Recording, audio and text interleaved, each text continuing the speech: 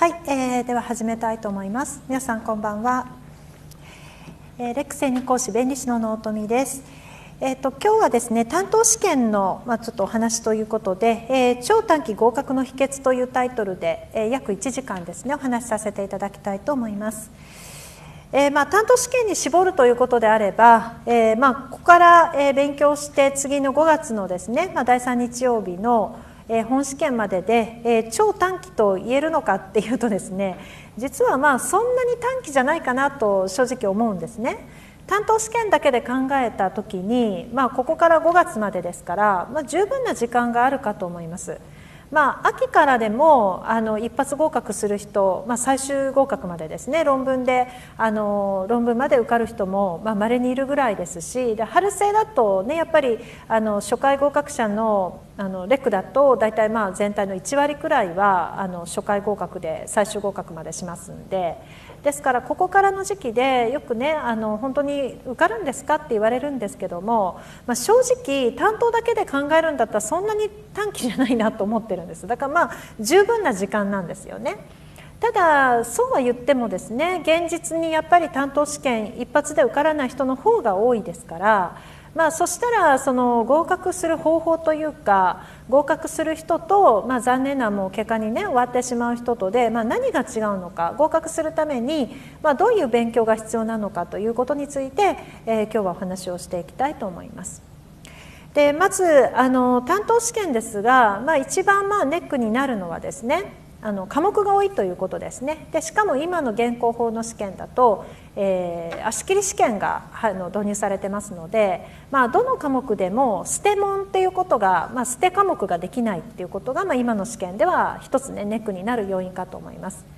私たちが受験生の頃っていうのはあの全体でのボーダーしかなかったのでそのどの科目で、まあね、1点取っても1点取ってだからということでまあ、得意な科目を伸ばして苦手なものを捨ててしまうっていう作戦もねありはありだったんですよね。でそれでまあ一番皆さんがよくあの苦手にしてたのは実は条約なんですよ。条約という科目は条約の中にパリ PCT、ね、トリップスマドプロジュネーブという形で今5つあるんですけども、まあ、1つの科目で5つも入ってますからやっぱり結構厄介なんですね勉強量は結構あの多くなりますから。でそれでまあ捨ててしまいたいという方がですね やっぱりあの結構多くいらっしゃってで条約を結構捨てがちになってきたんですね。でそれでもボーダーが今そんなに高くないですね。やっぱり39ですからそれでも受かる人が結構出てきてしまったのででかといって実務の世界では条約はやっぱりあの切り離せないですね。今の実務では。ですからやっぱり業界の中でその条約を知らないで合格することに対しての警鐘というか問題がまあ多く指摘されるようになって、まあ、条約にまあそのあの本当は原因があるんですけど足切り制度が導入されたということがあります。ですから条約に関しては割と難しい問題も出ています、うん、ちょっとやってて4点切るっていうことがねあまりないのは不調だと思うね。不正競争防止法や著作権でなかなか4点も切るっていうことはあまり見られないんですけども現実的にやっぱり多いのは条約ですね。条約でやっぱり4点切られてっていうところであの全体はボーダーを超えてたのに条約だけであの落ちる人が、まあ、結構いらっしゃいます。実際去年の受講生うちの受講生の中で、えー、条約で足切られた方であの全体では46取ってたんですけど条約があの足切りにあってしまって不合格になったっていう人がいるんですよ。で43点だと2人いますうん、ですから結構その高得点を取っているにもかかわらず条約だけであの落ちてしまうっていうことがですね実際あるので、まあ、その辺のところがやっぱりちょっと難しいところになってきてるかなと条約の扱いが難しくなってるかなということがありますね。であとやっぱり担当試験というのはあの科目が多いですからどの時期にどんな勉強をしておかなければいけないのかその、まあ、スケジュール感ですね。やはりあの特許法1条から204条まであります。で他の法規だってそれなりに、えー、条文数があるわけですから当然まあ全てをフラットに扱うということはやっぱりあの勉強法としては正しくないしでその法域の、まあ、マスターの順番ですよね。どの法域から持ってきて最後どういうふうにあの持っていくのかっていうようなところもあの、まあ、一つはノウハウになってくるのでまあ、そういう意味ではですねあのスケジュール感というものを大切にするということも、まあ、合否を決める一つのポイントかなと思っています。で今日皆さんに、まあ、お話しするのは、まあ、そういったところを、まあ、ちょっと具体的にじゃあどう進めていくのかっていうことをお話ししていきたいと思っているんですね。で、えー、と1ページちょっとレジュメ開けていただきますと、まあ、テーマとしてはですねやはり本試験に知識のピークを合わせていくっていうこと。これがあの担当試験ではまず目指すべきところだと思います。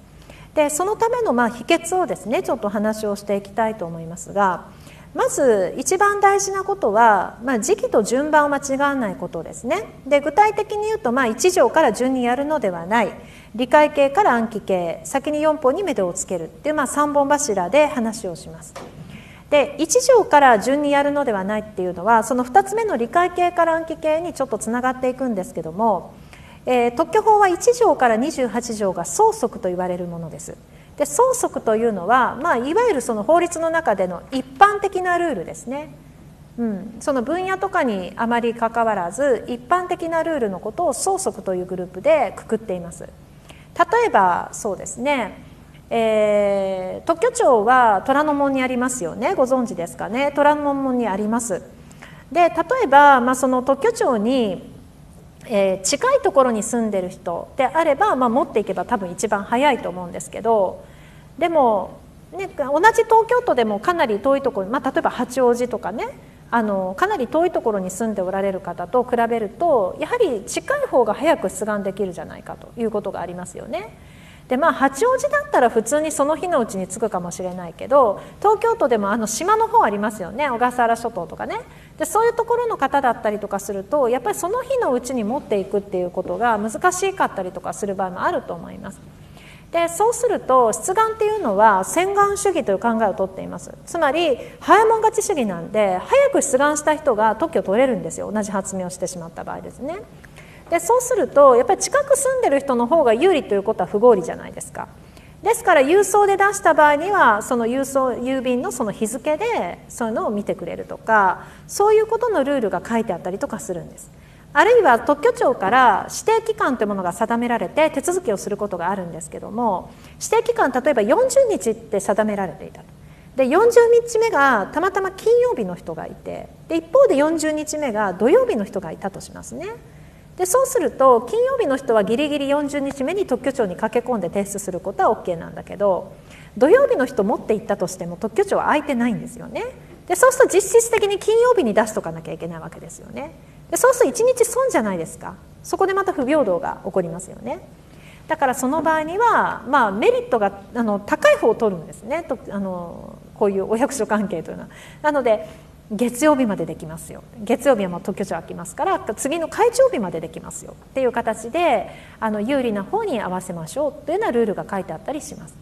でそういったその法域に関係なく分野に関係がなく一般的なルールっていうものがあのその相続というグループに書かれてるんだけどもそこに関してははっきり言って、まあ、人為的な取り決め決めたことなんですね。ルールとして決めたことに過ぎないのであんまりそこに深い論点とかないんですよ。学者さんたちがこうなんか興味を持ってけんけんがくがくここはこういうふうに解釈するべきだみたいなね。そういうようなあのいろんな解釈みたいな深さがないんですよ。だから結局条文通りなんです、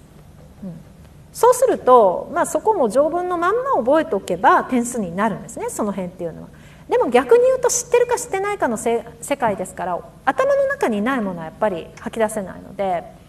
結局暗記力が勝負になってくるのがその相続というグループなんですね。で一方でその28条で相続が終わりまして隣の29条から今度は特許要件というグループが入ります。で特許要件というのはその発明にどれぐらいの価値があるのかっていうことを測る目安になるものですから当然まあその、ね、どういうふうに判断するのかとかどういう基準で見るのかとかそういうようなその条文にはない深さ物差しというものが審査基準にあったりとかあるいは判例で争ったことがあったりとか割と深いところの勉強が必要になるんですね。で解釈も必要になりますしあるいはその解くという要素、うん、も必要になります。私なんかよくあの講義で図を書くんですね。フローチャートとか図を書くんですけどでそれはあのそういう要素が強いからですね。開放的な要素が強いのでそういうものを対応するんですがそういうものが29条からあるんです。でそれらの条文っていうのはどちらかというと解く要素が強い。理解する要素が強いものなので暗記要素は逆に言うとあんまりないんですね。ですから逆に言うと、まあ、あの数学とかと同じで一回解けるようになるとその力はある程度維持ができるんですよ。パッと忘れてしまうものではない。でさっきのその相続のグループっていうのは覚えないといけないし覚えたら終わりなんだけど忘れるのも早いですから当然やっぱりそこは定着も弱いんですよ。ですのでその定着率は長く続くものをやっぱり最初に勉強してであまり続かないの覚えなきゃいけないようなものっていうのは後ろに持ってくるっていう形のやっぱりスケジュール感を持たないとなかなか膨大な、ね、あの法域を相手にして膨大な条文を相手にする試験では、まあ、作戦勝ちですけどもあのできないよねっていうところがあります。ですからまずその順番というものはすごい大事だよっていうことですね時期と順番というものをあのしっかりやりましょうっていうことです。であともう一つはやっぱり先に4本に目処目処をつけるというのはあのその先の試験を考えてのこともあるんですけども、えー、担当試験合格すると二次試験は論文試験になります。で論文試験になるともう途端に科目が減ります。特実いい書の4科目のでちょっと条約が絡みますよって言っても国内法の特例レベルなのでそんなに条約どっぷりというわけではありません。ですので、まあ、4つなんですね基本的には。でそうするとですね担当試験と論文試験は確かにその別の試験だし、ね、実施もその担当クリアして論文っていうふうにいくんだけどもただ扱うものっていうのは同じなんですよ特許法を扱うし実案法を扱うしって形になる。だから担当試験で条文の中身分かってますかってことを確認した上でじゃあ事例でその分かった条文を物差しとして使えますか？事案を日々皆さんは実務に疲れたらですね事例問題を毎日解いてるような実務になるわけですね。でその時にやっぱりその条文を物差しとして解決をしていかなければいけないわけだからそれができるかっていう条文を使えるかっていう確認が論文試験なんですね。ですから別物じゃないんです。担当試験と論文試験っていうのは中身が分かってますか使えますかっていう2段階でやってくるっていうような形になります。ですから担当試験の知識が不十分だと当然論文は書けないし間違った論文を書いてしまいます。ですので担当の力というものは論文の合格率に比例するんです。で現に何年か前にですねレックが担当のあの点数の45点取った45点以上取った人の論文の通過率を調べたところ8割を超えてた年があるんですね。で私の受講生の中で見てもそれはレックが取った統計だから私のクラス以外のクラスも含めてなんだけど私のクラスだけで見てもそのあの統計は正しいですその通りですね。であの50点を超えた時にちょっとフラットになるんでその50点以上 取ったらもっと上がるかとそうではないんですけどでも今のその足切り制度が入ったあのことを考えると大体43点ぐらいから論文の合格率がぐっと上がるっていうイメージですね。で逆にですね今あの試験でよく問題になるもしこの中にいらっしゃったらごめんなさいねあの論文要はあの担当免除制度っていうのがあるんですよね今ね。ですから担当1回合格すると2年担当試験が免除になるので論文だけ2年受ければいいっていう形になるんですその間に論文受かりましょうっていう制度になっているんですが実際、うん、じゃあその中でみんながその2年の間に受かるかというと残念ながら受かれないでまた担当が復活してしまう免除が切れてしまうって方が結構いらっしゃいます。うん、で自分の周りでも、まあ、だいぶね最近はあの担当をちゃんと受かるようになってきましたからそのボーダー付近で受かる人がねなかなかあの出さないようにしてますんで、まあ、あんまりそういう人出なくなったとはいえですね、まあ、実際あの受験会全体で見ると割といらっしゃるんですよ。うん、だからあの担当免除切れてまた担当の講座を受けられる方もいらっしゃいます。でそういう方はやっぱりその1回目受かった年の点数がそんなに高くない方が多いです。だからよくこれは私慰めではなくて本気で言ってるんですけど担当試験まあ終わってですね担当ダメだったって相談に来られるんですよね。でその時に例えば38点でダメだったとか37点でダメだったとかあと12点でダメだった方結構いらっしゃるんです。なぜかというと分布って結構そのボーダー付近に山が来るんでその付近って割と受験生固まるんですよ。だから1点2点で落ちる人って割と多くいらっしゃるんです、うん、だけどもその人たちに私本気で言ってるんですけどその点数でねあの落ちた人とじゃあ39点ギリギリで受かった人でどっちが幸せかって言ったらあの必ずしも39点で受かった人が幸せとは限らないよって言ってます。でなぜならば多分その年の論文受からないです。39点の知識では今の論文試験受からない、うん、あの今の論文試験は担当の要素満載なんですね。解く要素が結構強いです。一行問題とかあと判例をそのまま書かせたりとか論文プロパーの知識を確認する問題も当然いっぱいあるんだけどもと同時に19年の本試験、まあ、要は担当免除制度が入ってからは担当的な問題が非常に多く出てくるようになったんですね。要はあの解放するってことですね。例えば想定される拒絶量を述べていく問題なんかそうですね。拒絶量見つけなきゃいけない。あるいはダイレクトに肉の2に該当するかどうかについて説明せよとか。そういう要素もあります。だからあの解けなきゃいけない問題が多いんですよ。知ってるか知ってないかだけじゃなくてその事案で解放していくっていう要素ね。でそれは担当知識が乏しい方はやっぱり間違えてしまうんです。肉のにないって回答しなきゃいけないのにあるって書いてしまったりとか想定される拒絶理由を1個しか挙げられなくて本当は3つあったりとか、うん、あるなしのところの、ま、判断を間違ったりとかね。今年なんか商標の問題でよくそういうミスを見つけましたけどもあのそういったような形の問題が出た時にやっぱり39点で受かる人はなかなかそこクリアできないんですね。よっぽどのことあの日頃は点数が高いんだけど本番ちょっと弱くてとか本番失敗して39だったっていう人はまあそれでも受かっていくんだけど逆に日頃あんまり良くなくてなんとか本誌は39に乗りましたみたいな方だとやっぱりその年なかなか抜けていかないんですよ。でそうすると次の年どうなるかっていうと39維持できませんからね次の本誌まで1年後私なんかでもそうですけど私なんかねもう15年以上やってるんですよ講師で毎年毎年あのこの担当基礎力完成講座っていうのを今日も開講したんですけどこんなあのすごいテキストを使って講義してるんですよ。だからこれ走ってる間はかなりこう知識量は多いんですけどこれ大体2月の中旬に終わるんですよね。でまあ今このプライム生に関しては4月にまたがりますけどもそれでも今度次の開講まで半年ぐらい空くじゃないですか。だいぶ落ちるんですよやっぱ知識量。15年連続やっててもですよ。それが受験生の方がねボーダー39で通ったって言って1年後そのまんま論文の勉強だけやってて維持できるわけがないんですよ。多分30点切るぐらいの知識量で次の試験の論文試験を受けることになる。絶対受からないって思いますよねそれで。現にやっぱり中上級の講座なんかね私はあの担当してるんだけどもあの免除の方ほどやっぱ間違うんです答案の中で。綺麗に構成もするし見栄えがいい答案なんだけど堂々と間違えてる答案を書か 書かれるんですよ。でそうするとやっぱり受からないですよね免除の中では。で2年後はもっとでしょ。2年免除あるけど2年後もっと知識落ちますよね。だから変に、ね、数点足りなくてダメだったっていう人の方がまあ言ったらそこからまたね講座とか受けて担当の勉強一生懸命やるわけなんで積み上げをドンとすれば45点ボンと取りますよね。そしたらその年論文受かるんですよ。次の年に一期合格いくんですよ、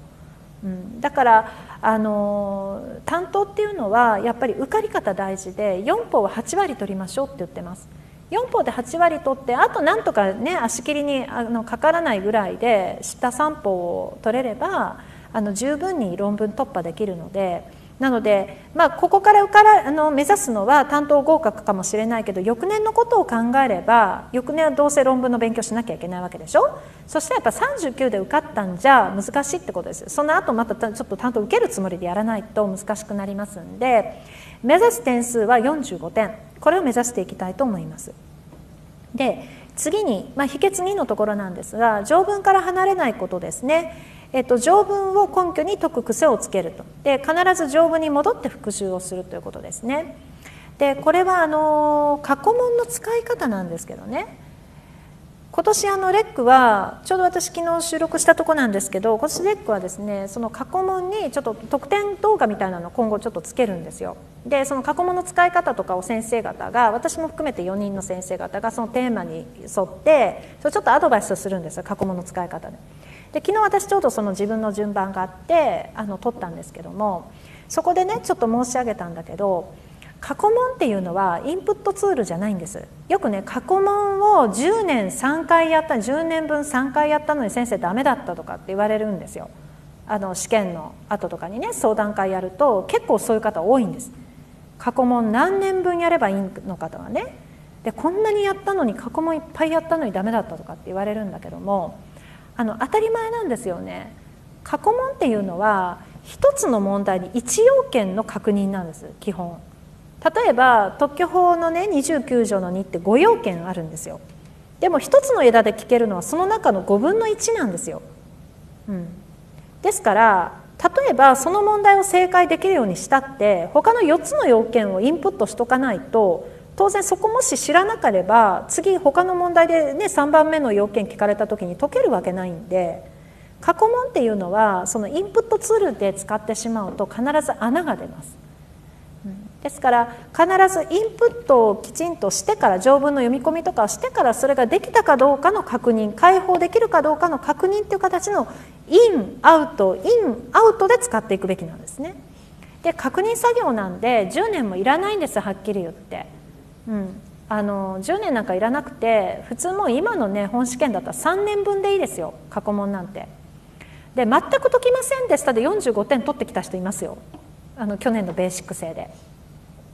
まあ、それぐらいあの今はもう過去問からそのまま出ません。300枝のうち大体そっくりでしたねっていうのは2枝ですね。過去問とそっくりでしたね。だから300分の2の、ね、ために過去問を覚えるのかって話ですよ。ですからやっぱりその、ね、試験の先生方っていうのはやっぱうまく作っていて本当によくね毎年毎年300枝も用意するわけですよね。60問で5枝だから300枝なんですけどよくそんなにねなんかうまく新作作ってくるなって感心するんですけど本当によく作るんですよね条文をね。あの条文ベースにですね。だからちゃんとやっぱり条文に沿った勉強しなきゃいけなくて条文の読み込みを中心にあのやりましょうというふうに伝えています。でプライム生もそうなんですが、まあ、今日私あのちょうど短期村の開講だったのであの要は春生この通称としてこう秋生とか冬生っていうんですよ今から開講するコースねで春から開講するのは春生っていうんですけどあの春生のが今日ちょうど開講したところなんであんまり差がないんですけどその時期に。で春生に関しては今日ちょうど相続とか、まあ、その辺、まあ、補正とかそういうのやったんですけどね。テキストこういうちょっとテキストになってましてあのまあ条文がまずちょっとこう載っていてでそれにこう確認事項ってこうあってですねこの中に青本の記載だったり基本書の話だったり審査基準の話だったりこういうのがまとめてあったりあとはこうちょっとまとめてあるこう便利な表なんかがあるんですよね条文をこうちょっと視覚的に覚えやすくしたようなものとかがあってで都度ちょっと確認できるような過去問がこう挟まったりとかしてたりもするんですけど、まあ、この辺ちょっと青本とか書いてますよね青本の解釈が載ってたりするんですが必要な情報を基本的にはうちのクラスではこの条文の中に集約していく作業をしています。あの要は条文プラスアルファが試験範囲なんです。でアドバンスはかなり広く拾っているんですけどこの中の7割ぐらいでイメージとしてはこの情報量の7割ぐらいで U に45点を超えてきます。うん、ですからあの、まあ、要はランク付けをして本当に重要なものはやっぱりこの中に集約して最後、まあ、この集約したものを使ってインプットをしていくっていうのが重要なんですね。ですからそのバラバラになっていないようにその重要なものをこの条文色分けとかしながらあの、まあ、条文の読み込みが効率的にできるような感じでやっています。例えばですね、まあ、私あの指示はいっぱいするんですけど自分が、ね、こう講義の中で実際いちいちいちいち受講生と同じように書き込まないんですけどこれ例えば3条あのさっきの期間の話にちょっとつながるところなんですけど例えばね3条1項1号に期間の初日は参入しないって、まあ、初日不参入の原則っていうのがあるんです。例えば、まあ、指定期間が、ね、40日っていうふうになっていてで例えばそれがねあの今日東本が送達して40日って言われた時にそれはあの翌日起算になるんですね。翌日起算でカウントしていくんですよその期間っていうそれ初日不参入の原則っていうんですけどただその期間の初日は参入しない原則なんだけど正し書きがあるということは例外があるんですねでただしその時間が午前0時から始まる時はこの限りではないじゃあ0時から始まる時ってどんな時が条文上あるのっていうとこれ全部延長期間なんですよ。延長期間は午前0時から始まるんででそうすると何々の延長何々の延長っていっぱい条文上あるんだけども全てすれば全部延長期間なのででそうするとこれはあの正し書きで言うところは延長期間だったらそれは初日不参入じゃあの初日不参入じゃなくて初日も入るんだなっていうことになるんですね。でそういう話は条文の中から明らかじゃないんだけどもただまあ他の条文を確認したりとか、まあ、本読んだりとかすれば当然わかることなんでまあ、あのアドバンスには書いてあるんですよでそれをまあ簡単にこういうふうに書き込んでおけば、まあ、情報がここに集まるじゃないですか。でこういう感じでねちょっとこう必要な情報今ちょっと簡単に言いましたけど必要な情報をこうやってあの集約したりあるいはこう読みにくい条文に関してポイントとなるところに関してはこうマーカーを引いてもらってもっと本当はね今日はあのたくさん色分けをしてもらったりとかしてるのでもうちょっとカラフルで皆さん変えられてるんだけどもあのこういう感じでねやっぱり条文の中にこう集約していくで条文を主体としてインプットをしていくと穴ができないので、まあ、その条文から離れないことっていうのもポイントの一つではあります。で次に3つ目ですがこれ暗記に頼らないことですね意味分からずにインプットすることぐらい怖いことないんです。うん、あのまず自分を苦しめるっていうことは確かにあると思うんですね。で今日例えばですねその話をちょっとやったんですけどえっと例えばですねこの辺よくね受験生の方よく出るんだけど間違われるのがね例えば今日やったところちょうどやったところだから記憶に新しいんですがこの5条っていうのがですね特許庁長官審判長または審査官はこの法律の規定により手続きをすべき期間を指定したときは請求によりまた職権でその期間を延長することができる。で2項は今度審判長はだけなんですね。審判長はこの法律の規定により期日を指定したときは請求によりまたは職権でその期日を変更することができる。こう主体に隣り合う条文なんだけども差があるんですよ。でなんかここをね混同してしまうっていう方が多いです。で損則だから特にやっぱりまあ丸飲みするってこともあるんだけども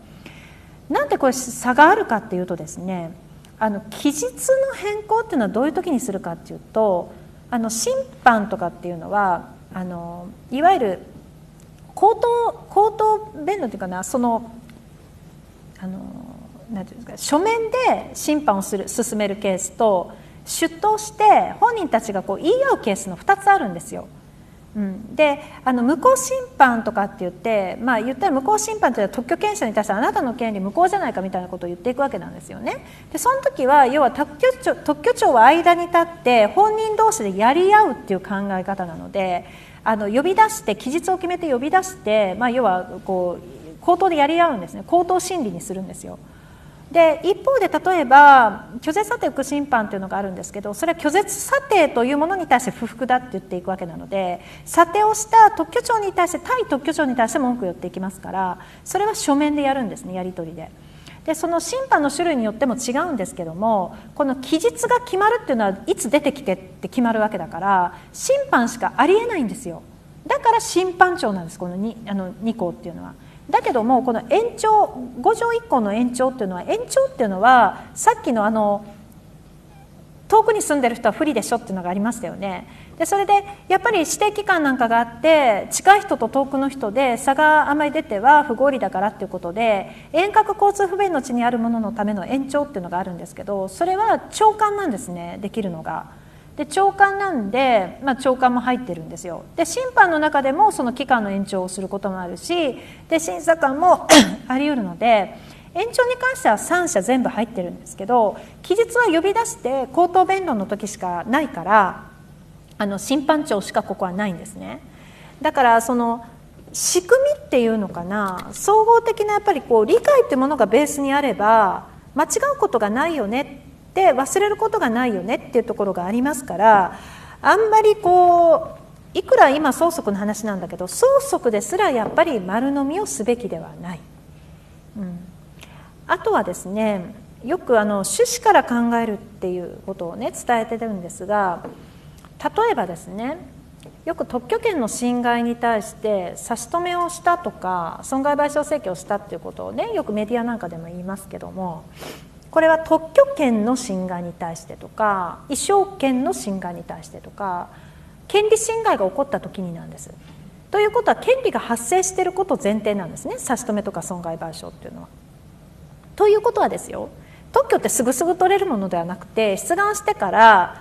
あのすぐに審査請求をしたとしても今平均で1.5年ぐらいなんですよ審査期間。だからそれぐらい先なんですよね設定登録されて特許権者になれるのは。そうするとその間に、ね、第三者が実施してた時は差し止めとかできないんですよ。一方で特許法は出願から、ね、一定期間過ぎたら出願の内容をオープンにするんで他人が出願した発明を知ることができるんですよ。でそうするとそれを見てあ実施しちゃえって第三者が実施始めた。でそうするとオープンにしたからこそその実施を始めてしまったわけなのでそれって菅にとっては不利益ですよね。オープンにしてほしくないわけですよね。でもオープンにしないとじゃあどういう弊害があるかというとずっと特許権が発生するまではブラックボックスでしょ。どんな発明が出願されてどんな発明がもう他人によって研究されてるかとかっていうことがわからないわけ第三者は。そうするとたまたま同じ研究をしてたりたまたま同じ発明について出願しようと思ってる人が要は知らないで研究を進めてたり無駄なことをしてる時間が発生してしまうわけですよね。だからそういうことがないようにするために他人がもうこういう発明してるんですよ。もう出願してるからね。あのもう他の人はもう出願しても抗がんで拒絶されるから無駄ですよってことを知らしめる必要があるわけですよ。でそういう無駄を省くために公開するんだけどそのために今度出願人は不利益が出てしまう。じゃあそこ平等じゃないんで不利益を受けたものをじゃあお金で解決しましょうっていう保証金請求権制度っていうものを設けたんですね。で保証金請求権っていうのは簡単に言うとだから出願公開による不利益の補填なんです。だから保証金請求権の発生要件は必ずどんなことがあっても公開が必要なんですよ。うん、公開が絶対的な要件なんです。一方で商標法にも同じような制度があるんです。まだ登録になる前でも、ね、その金銭的請求権ってちょっと名前違うんだけども登録になる前ででもそのお金によって出願人を保護しましょうっていう同じようなものがあるんですよ。うん、だけども商標の場合は公開が要件になってないんですよ。公開されてなくてもその金銭的請求権は請求できるんです。なんでか趣旨が違うんですよ。公開による不利益の補填が趣旨じゃないんです商標の場合は。商標法にも公開制度はあるんだけども商標の場合はそうではなくて商標っていうのは商品とかサービスを仕分ける目印になるものなのでそのマーク自体に関して価値があるのではなくてそれに値した信用っていうものに保護対象を置いてるんですね。つまり例えばまあ良くも悪くもですけどねあの例えばまあレックのこのマークとか、まあ、商標なんですよね。でこのマークを見ればああのレックだよね。ね、あのあそこ行ったら合格できるよねみたいなこう信用が偏ってるマークにね。それこそが保護対象なんでまあ言ったら登録までも使用していればその信用を加することもあるじゃないですか。だから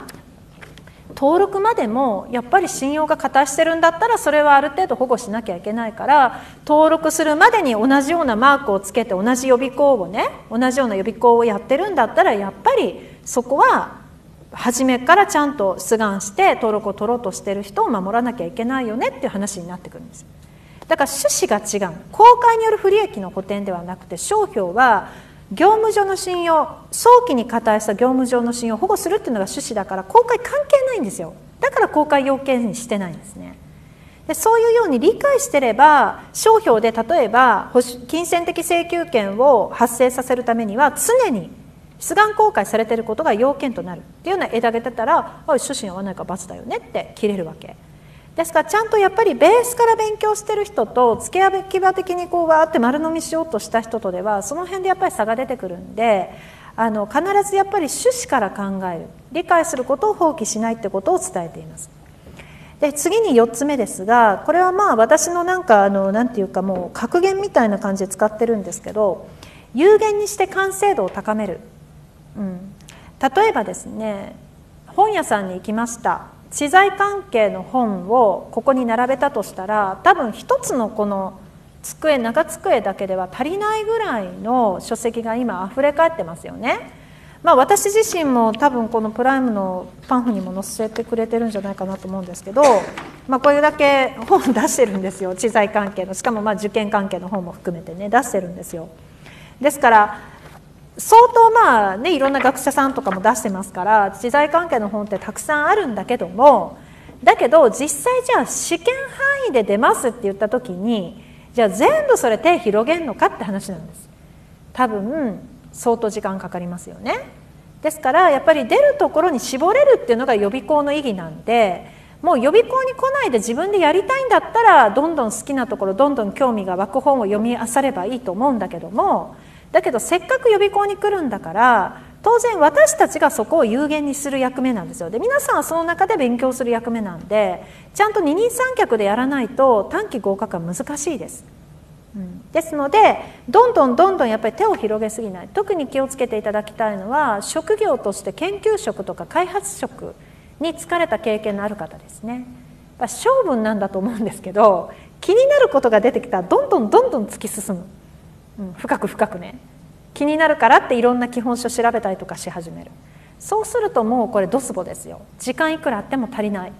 うん、だから分からなかったらもう先生に聞けばいいや。で済ませて次回の講義の時に聞くとかそういう割り切りをしていただきたいですね。で今あのネット社会ですからいろんなところで情報がやっぱりこう溢れ返ってますんであのいろんな情報が手に入りやすいじゃないですか。で私もねあの今日多分紹介していただいたのかな？オフィシャルサイトを持っています。であとまあ LINE アットとかもやってるのでいろいろこうあの始めたんですけど、ね、なぜそういうのをやるかっていうと私そんな好きな方じゃないんですよ実は。結構アナログ人間であのそんな LINE とかで話するんだったらわって電話しちゃった方が早いじゃんぐらいな人なんですよ。もうすごい昭和の匂いプンプンする人間なんですけどあのそれでもなんでこういうことやり始めたかっていうとねあの逆に誤った情報とかアドバイスしてるサイトとかがすごい多いなと思うからなんですよ。うん、要はその何て言うのかなそこに行かないようにしてもらうためにこうちょっと火消しみたいな感じで一つ趣旨としてやってるんですね。で弁理士のですねあの合格者の方っていうのはこの,、まあ、この業界の方っていうのはですね非常に親切な方が多いんですね。私はもともと文系の人間なのであの大学もそうでしたしそんなにその職場の環境的にもその理系まあ私は知財部なんでもともと知財部上がりなので知財部にはもちろん理系の方いらっしゃいますけどそれでも特許部とその衣装商標部とかが分かれてたものですからあんまりその理系の方と接する機会というのはそれほどなかったんですよこのあの受験指導とかするまではね。だけどもこの業界の方で、まあ、特にそう理系の方ですよねあのね本当になんか親切な方が多いんですよ。だから私とかこう合格者こう毎年毎年出るじゃないですかでそうするとねこうあのいろんなところでこうなんていうのかなあの、まあ、こう講演会とかあるいはこう春生とかだとフォローアップ相談会とか、まあ、そういうのやるんですけどもそういう時に本当にそのボランティアで自分でよければって言っていろいろアドバイスしに来てくれるんですよ。うんだから本当にちょっとランチおごるぐらいなことしかね私なんかしなくてもあのどんどんどんどんいろいろ手伝ってくれるんですで特にこの水道橋本校はそういうね縦のつながりがすごい密で論文試験受かるでしょうで口述の試験の前っていうのは要は問答の練習しなきゃいけないんですけどそういうのも結構 OB の方たちが主導になって水道橋のその初級から中上級の方に声かけて練習会とかやってくれるんですよね。そういうねこうボランティア精神がね本当にこの業界の方旺盛でで多分その一つなんですけどあのブログとかで受験生に対して結構勉強のアドバイスしてくださってるんです。うん、あのこういうふうにやったらいいよとかね。うん、で全くの善意なんですよね。だから受験生の方にとっては、まあ、全くもってありがたいことなんですけどただ残念ながらあのこの試験っていうのはもう3年経つと別試験っていうぐらい毎年毎年結構あの様変わりしてるんですよね。だから例えばもう5年ぐらい前の弁理士さんだと合格が。その時の状況とだいぶ違うんでいやあなたの時そうだったけど今は違うんだよねってもうめっちゃ言いたいんですよね私なんか。もうすごい口挟みたいこといっぱいあるんですよ。うん、でやっぱり間違った情報をそれを鵜呑みにして例えばねあの10年ぐらいの合格者とかだと多分過去問中心にやってたのそれぐらい担当の問題簡単だった時もあるんですよ。うん、だけど今そんな足切りもあるそんなんじゃ受からないんですよはっきり言って。だから過去問集導でやれなんていうアドバイスは絶対間違ってるんだけどでもまあ自分の時はそうだったらそう言いますよね。ですからよくあの特許事務所で周りに弁理士さんがいればいるほど結構ね合格しないとかってよく言われるんだけどもまああいや声言ってくれるんですよね特許事務所だと自分たちの時のこう教材とか渡してくれたりとかね、うん、善意でですよでも古いからやっぱ使えないんですよ改正タイムしてないし。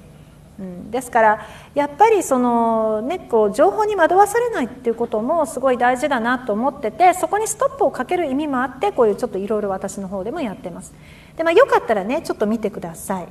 で、えーと、あとですねちょっと今日あのちょうどですねあの皆さんのこここのパンフのですね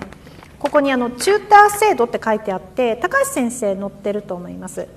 で、えっと、チューターというのは、まあ、要は相談役みたいな感じなんですけどもあのまあ、私にもちろん聞いてもらってもいいし相談ももちろんいいんだけどもなんか、ね、よく私なんか先生に聞くほどのことじゃないんだけどみたいなねなんかそういうことがよくあるみたいでで特にまあ春生から始めた制度なんですが、まあ、うちのクラスはこういう専任チューターっていうものを設けてて、まあ、二人三脚でねこう運営していってるんですけども。でその中途の先生があの今日ちょうどそのあの中途だけではなくて論文のゼミも担当していただいてるので春生のですねなので今日ちょうど講義があっていらっしゃってるので少しちょっとか、まあ、顔合わせというかご挨拶いただこうかなと思います。ちょっと最後のごあの秘訣の先生も講義に行かれるのでちょっと先にじゃあ一言あの挨拶をお願いします。ちょっとね実物と写真と見ると写真の方がちょっと痩せて見えると思うんですけど。修正はかけてないんですけどね。今納富先生からご紹介いただきました高橋と申します、まあ、確かにちょっと若干これあれですねパンフレットの方が痩せてるんですけど。はい。であのまあ春生とかそういうの中退やってまして、まあ、中退って何かってわからないかと思うんですけど、まあ、勉強の進め方だったりあとまあたまに勉強の内容とか聞かれる方もいらっしゃるので、まあ、私のできる範囲でまあ答えられればあの答えていきたいと思いますのでそれで基本的に土曜日にやってますので皆さんは日曜日とかちょっと不定期なので、あのまあ、土曜日に来ていただければと。あとちょっと私今度日曜日も入ろうかなと。土曜日じゃなくて日曜日に。もうあの土曜じゃなくて日曜に入ると思ってるので、まあ、そこで皆さんにいろいろアドバイスできたらと思っています。あと何か？はい。何か質問とかあればあれですけどね。大丈夫ですかね。まあまあおいおいじゃはい。じゃあおいおいで。まあ何かありましたらいつでも相談していただければと思います。すいません。いきなり途中から来ましてすいません。はい。ありがとうございました。で今ちょっと真面目に話してましたけどすごいあの気さくな方であの本当話しやすいと思いますので、まあ、ぜひねあの利用していただければと思います。で最後の秘訣後なんですが、まあ、最後は4歩で勝負することということで、まあ、さっきねちょっと話しましたけども、えっと、論文はやっぱり4歩ですからやっぱその先を考えてほしいなと思ってます。あのいくらでもね担当受かっただけでやっぱり三振して戻ってこられる方見てるんですよ。で皆さんがやっぱ弁理士になるためにはあの最終合格しなければいけないですねだから次の試験で担当合格を目指すにしてもやっぱりどういう受かり方をしたのかでその次の年にね最終合格までいけるのかっていうところが決まってきますのであのしっかりとやっぱり4法で足固めをしていただきたいと思います。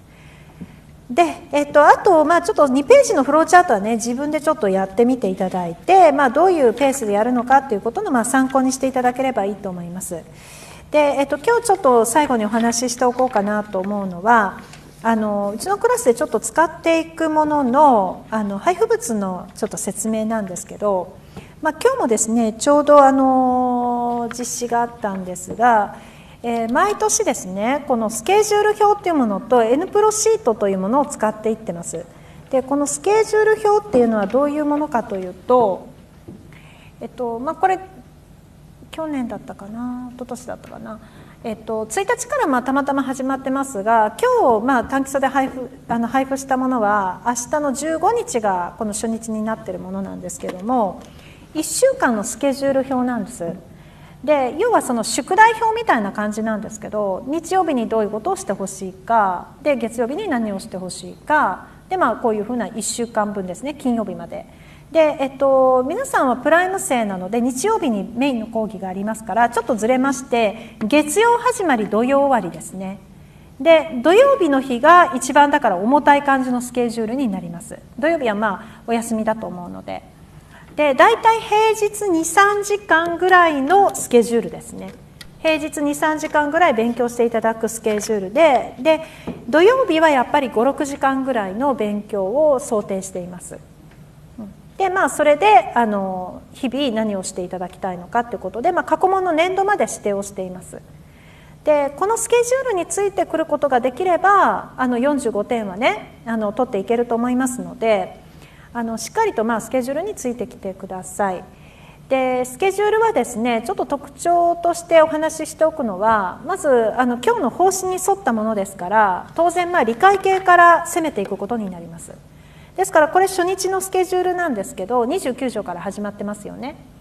で今日まああの 春生に配布したのは、えー、まあできるだけその授業を生かした形にしようって、まあ、去年からやってるので、えっと、その中相続の中でも補正というのはちょっと手続きだから処理系に入ってくるので補正をまあ早速明日の日曜日に入れてたりとかしています。で過去問もあのー、まあ暗記系だったら、ね、そんなに何年もやらなくても例えば理解系だったら5年分やった方がいいとか、まあ、審判だと、まあ、もうちょっと5年から7年ぐらいやれば大体どの条文も網羅できるとかそういうまあデータを持っているのでそれに応じて、まあ、スケジュールを入れていってます。であとはちょっと今年は私あの春生にもこの冬生にも、えー、実施する予定なんですけども足切り対策を入れてます。で一番ネックになってるのが冒頭で話したように条約なので条約をちょっと前倒しするようなスケジュールにしてまして、えっと、今日春生に配布したものは明日早速まあ補正なんだって話をしましたが、えっと、補正に関しても PCT 条文があるんですね実は今年早速論文で出たんですけど PCT は19条補正っていうのと34条補正というね条約の中に2つ補正の条文があるんですよ。でもうそれをちょっと一緒にやっちゃおうっていうことでまだ条約の会入ってはないんですけどもあのスケジュールの中に組み込んでいって、まあ、国内法とちょっとこう並行してできそうなところは前倒しで条約をやることによって、まあ、少しその条約の底上げをしていこうと思ってます。実際やっぱり条約で仕切られてる方がいらっしゃるんでねたくさん。なのでちょっとその辺はあの自分の得意分野では実はあるんですよ。私はちょっと変わっていて条約大好きだったんですよね。だからまあ条約攻略法っていう本を出してるぐらいなんですけどあの PCT オタクって言われてたんです受験生時代、うん、それぐらい好きだったんですよ条約で1点でも落とすとちょっと悔しいぐらいのねあの感じだったんで、まあ、ちょっとその辺の得意分野を生かしながらあのちょっと入れていこうかなと思っています。でまあ春生だったらちょっと論文の勉強もちらっと入れてたりするんですけどプライム生はもう確実にちょっとねベあのベースなしに担当をやっていきますからあの論文の欄はちょっと省いていこうかなと思ってるんですけど、まあ、その分ちょっと担当手厚くやっていこうと思ってます。で次にあの前のページに N プロジェクトシートってありますね。でこれは条文の読み込みシートでえっと、築上でこう条文をずらっと左側に並べていてでその条文のどの部分を読み込むのかっていうことの指示シートなんです。例えば、まあ、4条だったら主体と客体と効果に丸がついてると思うんですが、まあ、誰がどんな場合にすることができるのかしなきゃいけないのかとかそういうところを書いてるのでそこを読み込みましょうねと。でそれだけだとちょっと不親切で分かりづらいからと思って、まあ、チェック事項ということで具体的にどこを読み込むのかを指示しています。で例えばあの数字で8とか1とか6とか書いてるのがあると思うんですね例えば2条とかだったらそれ書いてるんですけどこれは条文上限定列挙されてるものなんですねで例えば特許法の2条3項の1号から3号には発明の種類によって何が実施行為になるのかってことを列記していてでそれは限定列挙なんでそれ以上はないんですよで、えっと、物の発明の場合は8方法だと1製法だと6みたいな感じなんですねで物の発明の場合の8っていうのもだから自分でちゃんと生産とか使用とか譲渡とかであのえー、譲渡との申し出とかこうやって言えるようにならないといけないんです。で基本的にはやっぱり限定劣化されてるものはそれ以上ないからやっぱり枝も作りやすいので限定劣化されてるものはやっぱり少なくとも数を覚えてその中身を覚えていくっていう形を取りますだからまあ全部ちょっとこうどんな場合にというところで4つある時は4って書いてたりとか、まあ、8って書いてたりとかちょっと数字化してやっていますでこういうシートを、まあ、あの並行して使っていくっていう感じですね。でまあ、こういう感じのツールを使いながら、まあ、確実にですねこう条文の読み込みをしながらあの点数を取っていく方法をとっています。でプライムの場合はあの従来ですね従来というか、まあ、去年は開校まで本当に何もなくてちょっとこう何て言うんですかねそれまで入門講座を本当は聞いてもらいたかったんですけどなかなかその申し込み時期だったりとかやっぱりまあその強制力が働かないとかっていうこともあるんでしょうね。なかなかそのあの全くこちらでノータッチだといきなりあのは、ね、こう開講日に初めましてでであのスタート切りますみたいな感じなんですよ。でそうするとやっぱりベースないんでさっきのその趣旨の話しましたけど